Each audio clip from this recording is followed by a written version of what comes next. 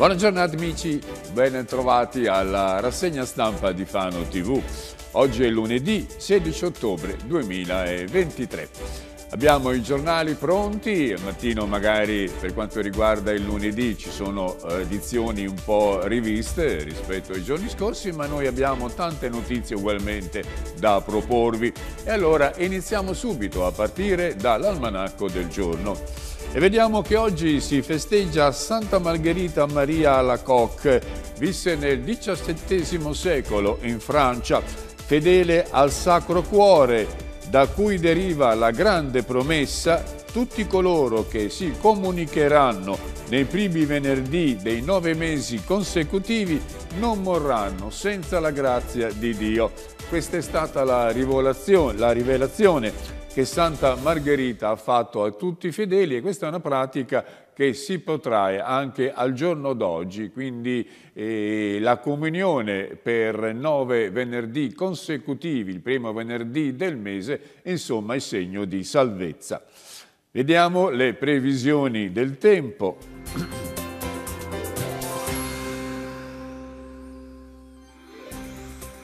Ecco, il tempo sta cambiando, sta cambiando rispetto al lungo periodo di alte pressioni che abbiamo vissuto nei giorni scorsi. Ora vediamo che il cielo diventa nuvoloso.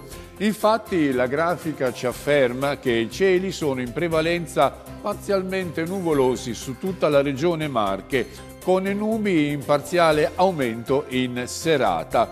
Ci saranno dunque addensamenti nel pomeriggio sera. I venti saranno al mattino tesi, al pomeriggio moderati. Il mare è mosso, la temperatura si aggira tra i 20 per quanto riguarda la minima No, per quanto riguarda la massima e i 16 gradi per quanto riguarda la minima e vediamo che il sole sorgerà tra poco alle 7.26 e tramonterà alle 18.27. Questo per quanto riguarda le previsioni del tempo e sotto una temperatura un pochino più autunnale possiamo cominciare a leggere i giornali. Partiamo dal resto del Carlino, il sunto della prima pagina e vediamo il sunto delle notizie in tutte le province della regione Marche. Vediamo Pesaro, un fatto di sangue è accaduto a Gabice Mare. Un imbianchino accoltellato, arrestati due fratelli, giallo in piazza. È venuto proprio in piazza centrale, a Gabice Mare, davanti al municipio. Si tratta di tre persone originarie della Campania. Due fratelli hanno accoltellato un loro amico, un uomo di 51 anni che ora è in gravi condizioni all'ospedale eh, sembra che la lite sia legata, sia originata da motivi di lavoro, poi insomma vedremo. Altre notizie, ecco come abbiamo salvato un ragazzo nella grotta, un ragazzo imprudente che si era calato in una grotta a Monte Nerone, è stato salvato per fortuna dalla presenza fortuita, dobbiamo dire, degli speleologi di Urbino. A Sant'Angelo in Vado, grande festa per il tartufo. Lo chef Barbieri è il mattatore, a lui un significativo riconoscimento per il lavoro fatto in, eh, per la valorizzazione della enogastronomia. Questo per quanto riguarda la provincia di Pesaro. E purtroppo nella provincia di Ancona abbiamo un nuovo femminicidio, una notizia che è rimbalzata anche su tutti i mass media uh, nazionali, su tutti i TG nazionali. Ebbene, il delitto di Cerreto Desi, una donna è stata, è stata uccisa a coltellate dal marito dal quale si stava separando, lo aveva denunciato l'uomo aveva anche il braccialetto elettronico, ma questa volta il dispositivo non ha funzionato. Ha funzionato anzi molto in ritardo, quando l'uomo era già penetrato nell'abitazione della donna di cui aveva le chiavi e appunto stava uh, perpetrando la sua idea, eh, la sua idea assassina e quindi tutto è arrivato in ritardo, la donna è deceduta. Il braccialetto elettronico ha funzionato quando lui era in casa, la piaga dei femminicidi. E poi parliamo di sanità, perché c'è un altro medico che ha vinto il ricorso Uh, perché insomma era stato punito in quanto non si era vaccinato, il ricorso gli ha dato ragione. A Macerata un incidente stradale, si schianta contro un muro senza frenare, muore a 78 anni. A Corridonia una donna si ustiona in un incidente domestico mentre stava cucinando il pranzo e poi abbiamo dissidi al comune eh, per quanto riguarda il Museo di Storia Naturale, scoppia il caso, lascia il presidente Federico Landi. E poi vediamo ad Ascoli e a Fermo. Qui giurano 29 nuovi medici, fa festa, polemiche, ora basta con i tagli. Insomma, 29, 29 nuovi medici sono veramente una risorsa per tutto l'apparato della sanità. Mancano i medici e mancano soprattutto gli operatori di pronto soccorso e certamente 9, 29 nuovi medici sono una risorsa importante ma anche qui non mancano maltrattamenti in famiglia. Tre codici rossi eh, sono stati rilevati durante una operazione dei carabinieri. A Pennille di Sotto, una località, Rebus, case popolari, quasi pronti 52 alloggi, una task force domenicale. Questo per quanto riguarda il sunto delle province marchigiane.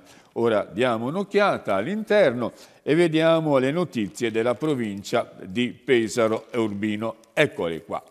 Partiamo subito dal tentato omicidio di Gabicemare. Tentato omicidio in piazza, due fratelli accoltellano un loro amico in bianchino. Sembra appunto che le cause di questa lite siano da attribuirsi a problemi di lavoro. È accaduto l'altra notte all'1.30 appunto a Gabice davanti al municipio. Perforati milza e glutei, rotti il naso e le costole. Il malcapitato ha 50 anni ed ora è, è ancora vivo e, e, però è in prognosi riservata all'ospedale. Si chiama Pasquale Marzocchi, ha 52 anni, sposato, due figli, originario di Napoli, residente a Gabice. Gli aggressori, due fratelli di Gabice Mare di 40 e di 34 anni, sono stati rintracciati poco dopo al pronto soccorso di Cattolica eh, perché anche loro si erano feriti e sono stati portati in caserma, arrestati con l'accusa di omicidio, eh, di tentato omicidio, quindi eh, un'accusa molto molto grave, parallela eh, relativa agli atti che hanno compiuto arrestato un 33enne che guidava positivo all'alcol con la cocaina. È stato arrestato all'altezza di Fano. Si tratta uh, di un uomo che aveva troppo alcol in corpo. Lo diceva appunto l'alcol test a cui è stato sottoposto quando è stato fermato dagli agenti della polizia stradale. Lo avevano fermato per un controllo. Gli hanno detto di aprire l'auto per una perquisizione, ma l'uomo ha subito capito che la cosa stava andando molto molto male, perché all'interno dell'auto c'erano delle dosi di cocaina. Poi eh, l'uomo eh, è stato ancora perquisito e sono state perquisite anche i locali, perquisiti anche i locali della sua abitazione dove sono risultate, sono venute fuori altre dosi di cocaina. Si tratta di un 33enne di Colli al Metauro che è stato arrestato in flagranza di reato. A Pesaro importante e molto partecipata la processione del voto, ovvero la processione di Santa Maria delle Grazie. Questo santuario francescano che si trova in via San Francesco che è molto caro ai pesaresi. Moltissimi fedeli hanno seguito ieri la tradizionale immagine della Madonna portata in processione, ovviamente dall'arcivescovo Salvucci. per le strade del centro storico, eh, via Branca fino al Trebbio, insomma le vie centrali, via San Francesco, corso 11 settembre, via Mazza, via Passeri, Branca e piazza del Popolo. Questo è un po' l'itinerario che ha fatto la processione. Sono colpito dalla devozione e dal profondo attaccamento della città nei confronti della Madonna delle Grazie. Per la seconda volta, ha detto Salvucci, mi trovo a vivere insieme a voi, fedeli, la tradizione, la tradizionale festa del voto, rinnovando la gratitudine verso la Madonna eh, per la protezione ricevuta dai pesaresi nel pericoloso contagio del colera del 1855, veramente una strage allora per una malattia che si era diffusa alquanto, ma che grazie alle, alla devozione della Madonna i pesaresi affermano che appunto la cosa si sia fermata. Ed ora vediamo il salvataggio che è stato compiuto eh, per un, un, ragazzo che si era calato in una delle eh, grotte più profonde delle Marche che si trova appunto a Montenerone in grotta con jeans e kiwi soltanto, non aveva quindi l'attrezzatura necessaria e poi non riusciva a risalire, così lo abbiamo salvato. Parla Enrico Sacchi, che è del gruppo speleologico di Urbino, che insieme alla squadra ha tirato fuori un 22enne dall'antro delle Tassare inevitabile ovviamente la romanzina, non si va insomma in una grotta così difficile senza la necessaria attrezzatura, senza la necessaria esperienza, così si mette a rischio la propria vita ma anche quella di coloro che poi sono incaricati al salvamento. Aveva detto all'amico, se vedete che non torno date l'allarme, l'unica precauzione che ha assunto questo ragazzo poi è sceso nella grotta più profonda delle Marche, la grotta delle Tassare a Montenerone, Piobbico, profonda addirittura 450 metri. Per fortuna, per una coincidenza veramente eh, portentosa, così possiamo dire, grotta, nella, davanti all'imboccatura della grotta c'era anche il gruppo sperologico, eh, il quale, ricevuto l'allarme, non ci ha pensato un minuto a calarsi nel baratro e, appunto, e salvare questo ragazzo. E allora vediamo anche quello che accade a Sant'Angelo in Vado, lo abbiamo preannunciato per quanto riguarda il tartufo, lo chef Barbieri, mattatore, siete baciati dalla fortuna, ha detto voi che avete questo territorio così prolifico di un prodotto che è veramente un, diciamo, una ricchezza eccezionale, vale tant'oro quanto pesa. Avete il tartufo bianco. Alla fiera di Sant'Angelo in Vado, premiato il nuoto Coco, nonché conduttore eh, televisivo, la città invasa intanto da 3.500 motociclisti per il tradizionale motoraduno annuale e i motociclisti sanno benissimo dove andare nelle località dove l'enogastronomia è sinonimo di eccellenza. Lo chef Bruno Barbieri è stato premiato ieri a Sant'Angelo in Vado con il tartufo d'oro per eh, quanto ha fatto per la promozione del Made in Italy all'estero, in quanto ha aperto un ristorante negli Stati Uniti da dove racconta il gusto e la tradizione italiana. Polemiche sportive. Il presidente del Fano Calcio russo trascina a processo l'avvocato Giovanni Orciani per diffamazione. Giovanni Orciani, allora direttore tecnico della squadra, avrebbe detto frasi incriminate eh, al, in merito al, al, al presidente dell'Alma.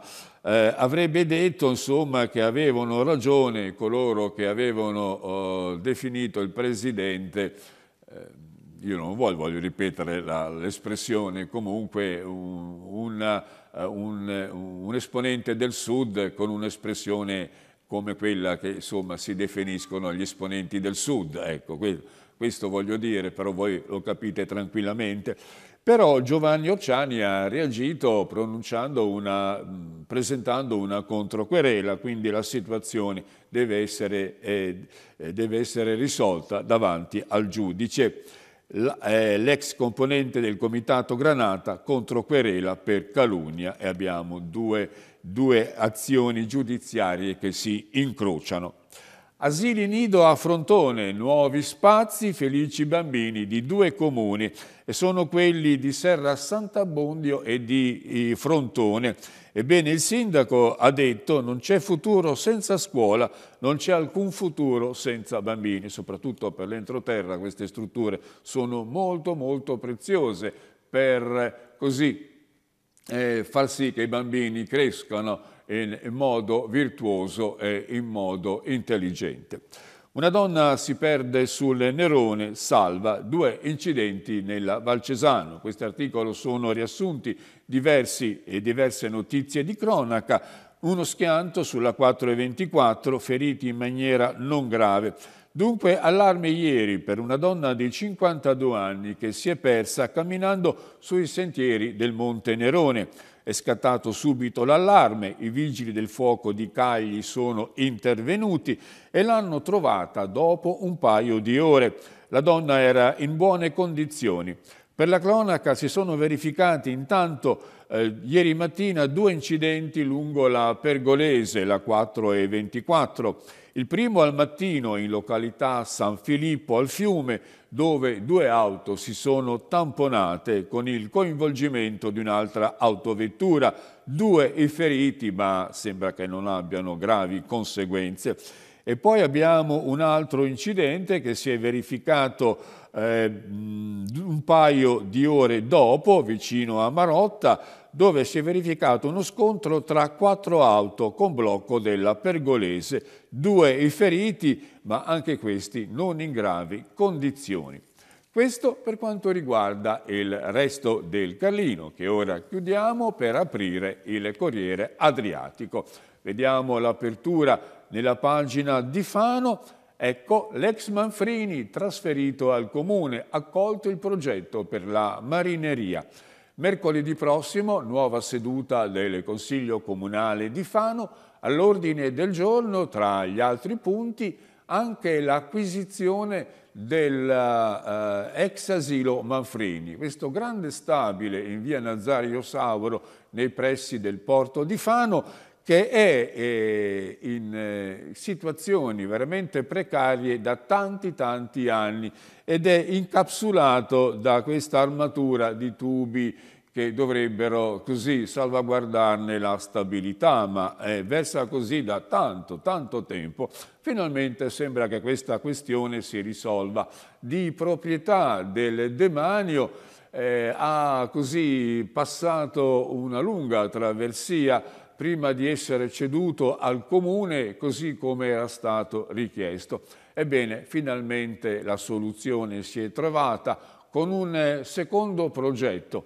Il primo prevedeva la trasformazione di questo stabile in casa popolare, popolare, ma la cosa non è piaciuta al demanio, anche perché nel frattempo erano intervenute delle nuove, eh, delle nuove regole eh, amministrative e quindi la cosa si è bloccata e si è bloccata per diverso tempo. Allora il Comune cosa ha fatto? Ha studiato un nuovo progetto e invece di farci delle case popolari ha deciso di farci il Museo della Marineria. Questo al piano terra, tre stanze con i vari annessi, mentre al piano superiore un auditorium in cui potranno riunirsi tante persone, fare degli incontri parlare della marineria e di tanto, tanto altro. Ebbene, il progetto così congegnato ha ricevuto il benestare dell'Agenzia del Demanio, il quale ha accolto la proposta di passare gratuitamente la proprietà del palazzo al Comune di Fano. Ora la cosa verrà approvata anche dal Consiglio Comunale, ci sono 2 milioni disponibili per procedere alla ristrutturazione del tutto e quindi speriamo che non ci siano problemi in consiglio comunale, se questi appunto non ci sono, la cosa andrà avanti. E anche questo stabile che poi è inserito in tutto un progetto che coinvolge l'ambiente del porto, dalla passeggiata romantica alla, alla, mm, al waterfront, eh, al borgo marinaro, insomma eh, ci sono diverse soluzioni che stanno rivoluzionando un po' anzi valorizzando, diciamo così, la, dire così, l'ambiente del porto. Un'iniziativa benemerita di carattere sociale compiuta dal Rotaract di Fano. Sono i giovani appunto del Rotary Club che sostengono la mensa di San Paterniano. Eccoli qui i giovani. È stato raccolto un contributo del club della Val Metauro durante una serata conviviale che verrà, i soldi verranno devoluti appunto alla mensa di San Paterniano. La cena era una cena con delitto, eh, quindi una cena con intrattenimento, è stata organizzata venerdì scorso alla trattoria da Farina, il cui ricavato appunto verrà dato in beneficenza. Parliamo ora della Zengarini, questa, questo impianto sportivo nella pista della zona sportiva della Trave, Zengarini mezzo milione per completare la galleria. Oggi al via il primo cantiere, ma il Comune cerca altri finanziamenti statali. In realtà sono già disponibili 2 milioni e mezzo, ma i soldi non bastano. Occorrono altri 559 mila euro per, eh, per diciamo così, predisporre tutto quanto necessario per completare il restauro di questo bellissimo impianto sportivo. E poi parliamo anche del fuori brodetto perché oggi è la seconda settimana di serate speciali per la promozione di questo piatto attuata dalla Confesercenti. Si parte dal Giardino dei Sapori in Viale Adriatico a Fano, a due passi dal centro storico eh, qui verranno serviti il brodetto secondo la tradizione con poi altre elaborazioni del ristorante. E allora passiamo alle notizie di cronaca che ci provengono dalla Val Cesano. Abbiamo visto già un anticipo sul Corriere, sul resto del Carlino. Schianto e pericolosa carambola, coinvolte quattro auto, soccorsi tre feriti. È avvenuto, abbiamo visto, nella Pergolese, causato da un veicolo fuori controllo. Il conducente risulta miracolato, comunque c'è stata molta tensione in strada, eh, lui è andato a finire contro un'altra auto, poi entrambi hanno così rovinato la carrozzeria di altre due auto in sosta.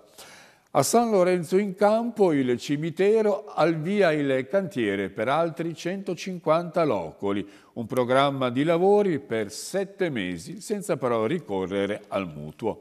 E vediamo la pagina di Senigallia.